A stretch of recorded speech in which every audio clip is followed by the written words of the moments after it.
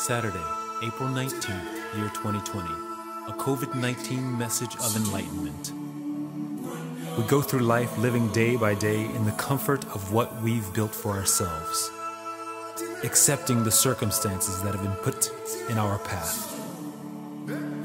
Some of us aimlessly searching over and over for what we don't have, not realizing it is already in front of us. In front of us, something more precious than any material objects. We have our life.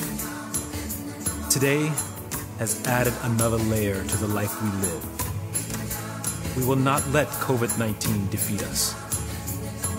We need to have faith for each other. From the day we arrived on this planet and blinking stepped into the sun,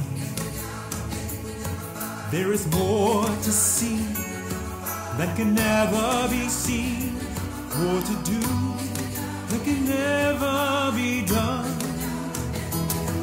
There's far too much to take in here more to find that can never be found.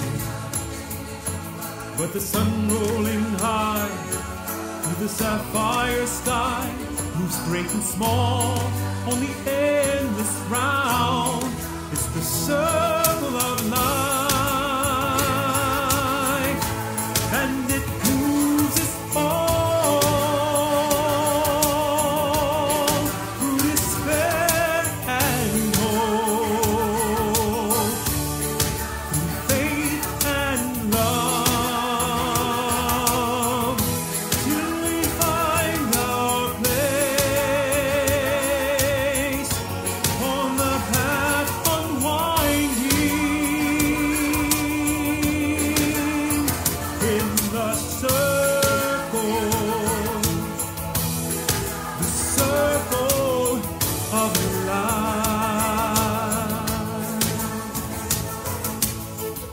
Yes, the circle of life.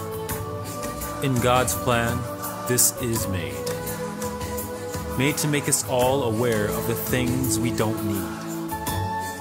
Reminding us just how blessed and precious we each are. But also how beautiful and unpolluted Mother Earth should be. Countless lives have been lost already mothers, fathers, sons, and daughters.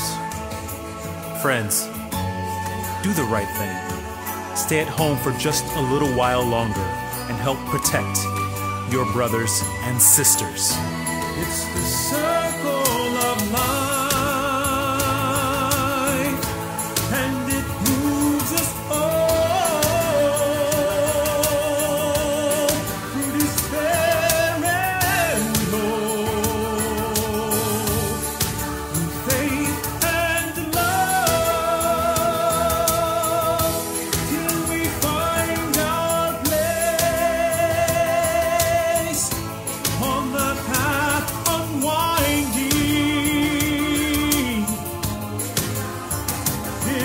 the